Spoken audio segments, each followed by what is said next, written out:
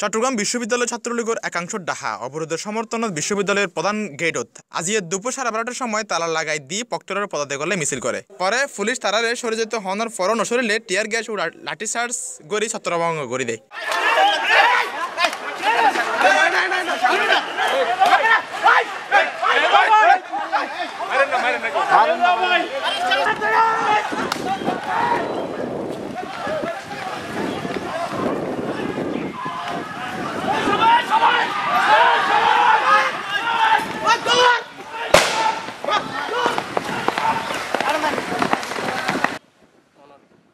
একজন একজন পুলিশ এ- একজন পুলিশ আহত হ্যাঁ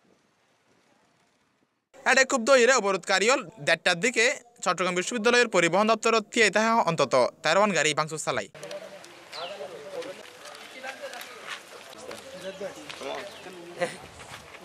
এরপর দুপুর আড়াইটার দিকে চট্টগ্রাম বিশ্ববিদ্যালয়ের এক নম্বর গেটত রাস্তাত গাছর গুড়ি ফেলাইয়ে সড়ক অবরোধ করে। পরে পুলিশ যাইয়ে তারারে ছত্রভঙ্গ করে দেয়। তারপর দুপুর তিনটায় প্রক্টর সাংবাদিক সম্মেলন করিবার সময় প্রক্টর অফিস গাড়ি এবং সাংবাদিক গাড়ি সহ তিন গাড়ি ভাঙচুর চালাই এসব অবরোধকারী হল।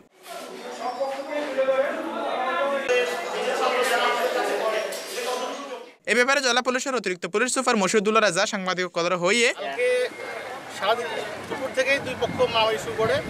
পরে আমরা রাত্রে অভিযান চালাই। আমরা দুইটা এলজি পাই এবং আট, দশটা রাউন্ডা পাই। তার পরিপ্রেক্ষিতে তারা প্রক্টের দাবিতে আজকে এখানে জমবেদ হয় যে প্রক্টকে পত্তে করতে হবে, নতুবা তারা বিশ্ববিদ্যালয় অবরোধ করে পরে আমরা তাদেরকে সময় দিই যে আপনারা শান্তিপূর্ণভাবে এখান থেকে চলে যান, নাহলে আমরা গাড়ি চার্জ করতে বাধ্য হব।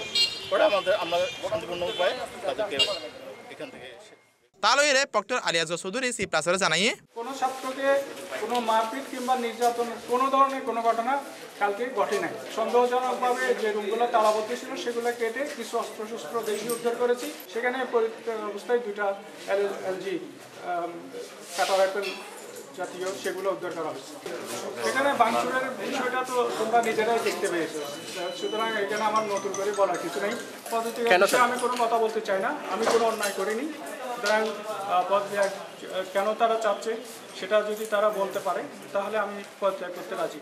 উল্লেখ্য সোমবার সংঘর্ষের পর মধ্যরাতে তিন হলত অভিযান চালাইয়ে দুয়ে এলজি রামদা ও পাত্তর সহ কয়েক বস্তা দেশীয় অস্ত্র উদ্ধার করে পুলিশ এড়ে ছাত্রলীগের উগ্র অংশ ঘুমন্ত ছাত্র কদরুয়ার হামলা করা হইয়ে এন অভিযোগ তুলি বিশ্ববিদ্যালয়ের পক্টর আলী আসগর চৌধুরীর অব্যাহতি চাইরে অবরোধ ডাক দেয়। এ ঘটনা লইরে এখনও চট্টগ্রাম বিশ্ববিদ্যালয়ের থমথমে অবস্থায় বিরাজ করে